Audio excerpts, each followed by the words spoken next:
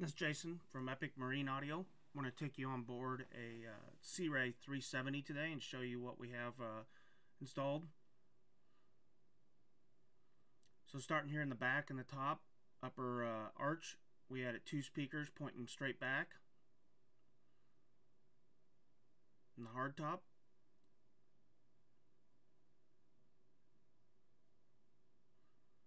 And then we added another pair here right in the front of the hardtop, pointing straight down.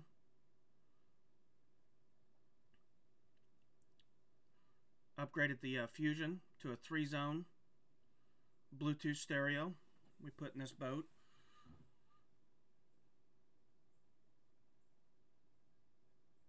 And then it had an existing kicker speakers that we've uh, since been back and upgraded to the uh, match the uh, quality of the Wetsounds.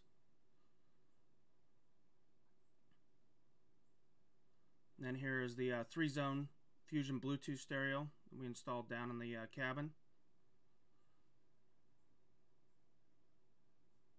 And then here's a zoomed out. Notice the two speakers down at the swim.